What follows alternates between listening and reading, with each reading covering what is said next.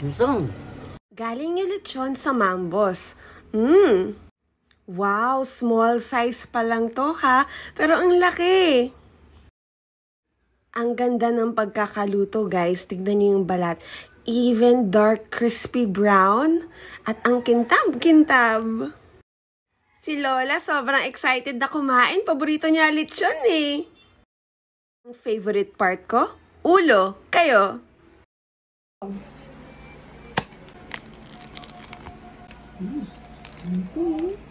Ang sarap naman ang balat.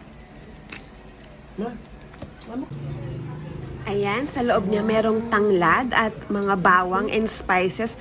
Kaya pala kahit pati laman, sobrang nilamnam. Ang kunan mo yan, anak. Ay, ang sarap!